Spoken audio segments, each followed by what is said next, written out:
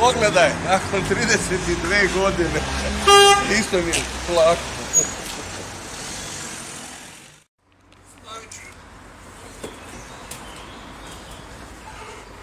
Ne, moram, moram stalak staviti.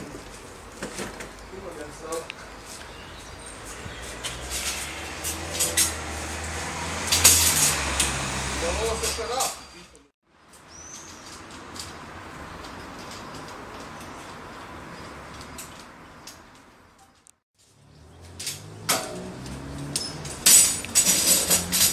šara. Ne, to ovo. Da, da, to. Ajmo taj stalak ovdje.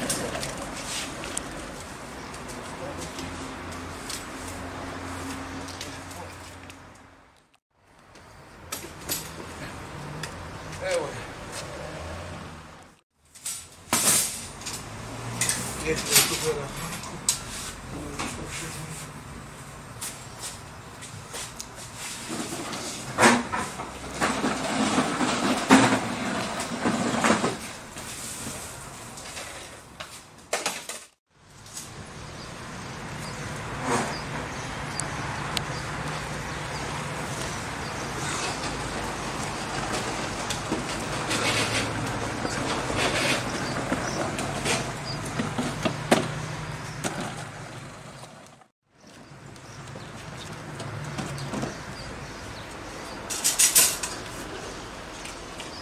Jutro.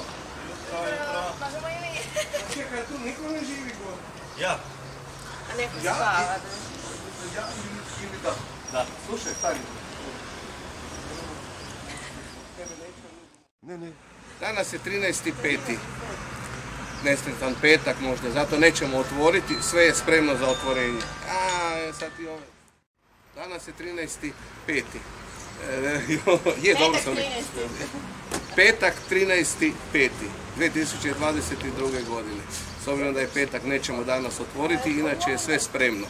Komisija je bila, dobili smo minimalno tehničke uvjete, ali i normalno, jer ovdje smo pred 32 godine otvorili našu prvu trgovinu i naravno narasla velika grupacija. Nažalost, moramo reći da ponovno krećemo iz garaže i upravo odavde smo krenuli tih davnih, davnih 90. godina.